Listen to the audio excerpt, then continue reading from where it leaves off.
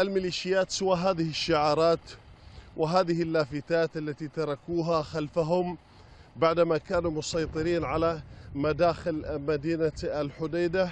آه، الجيش اليوم يتقدم ليطوق الخناق على ميليشيات الحوثي من الأطراف الشرقية والجنوبية وكذلك آه، الشمالية قطع خطوط الإمداد عن ميليشيات آه، الحوثي.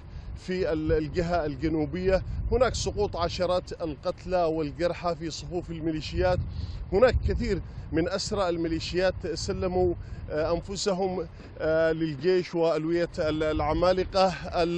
الميليشيات راجعت وفرت هاربة.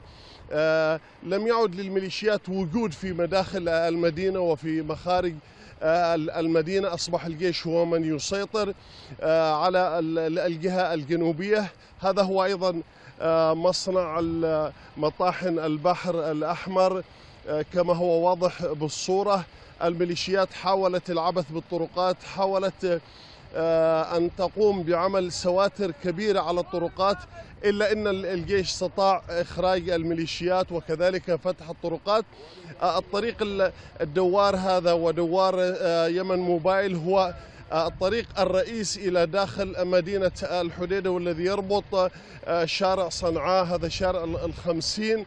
آه، تجري أيضا آه، اشتباكات خلف الشارع مع من تبقى من ميليشيات الحوثي وتعزيزات عسكرية متواصلة إلى الأطراف الشمالية والشرقية والجنوبية والغربية للمدينة لقطع خطوط الإمداد عن الميليشيات.